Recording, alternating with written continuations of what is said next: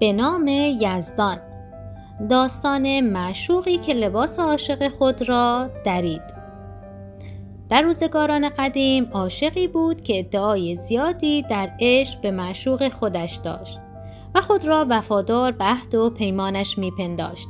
به طوری که خود را جز عاشقان راستین معرفی می کرد و سالیان سال در حال و هوای وسال معشوق خود می و آرزوی دیدار معشوق خودش را داشت که سرانجام جوینده یابنده شد.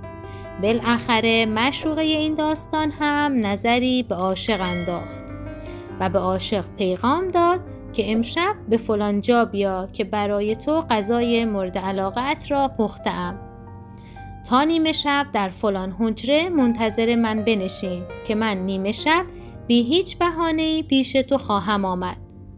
عاشق وقتی این خبر را شنید بسیار خوشحال شد و فهمید که بالاخره آن ماه تابانش از پشت گرد و غبار بیرون آمده و زمان وسال یار نزدیک شده است پس نظر خود را ادا کرد و قربانی داد و نان بسیار بین مردم تقسیم کرد به هر طرف که می‌رفت صدقه می‌داد و خدا را شکر می کرد.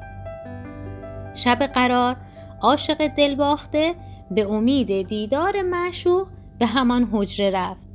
اما هنوز نیمه شب نشده بود عاشق بخت برگشته را خواب عمیقی فرا گرفت و سرش را روی زمین گذاشت و خوابید.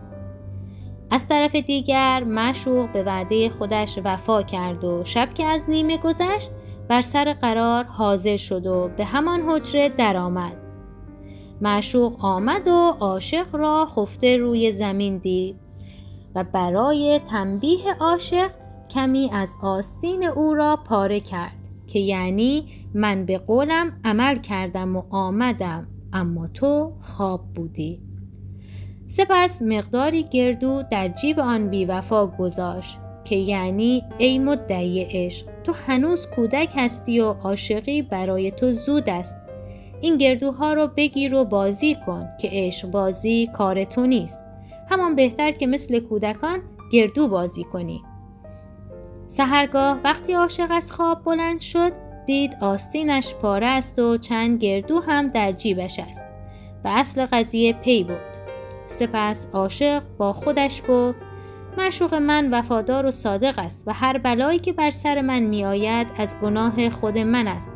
خواب بر عاشقان حرام بود. خواب آن کس کند که خام بود. پیغام داستان زیبای مولانا اینه که کسایی که مدعی طلب حقند و هنوز کمال نیافتند همچون اطفال بازیگوش میمانند در حالی که عاشق واقعی هیچگاه از معشوق خودش غافل نمیشه و خواب قفلت اون رو نمی‌گیره. ممنونم که لایک می‌کنید.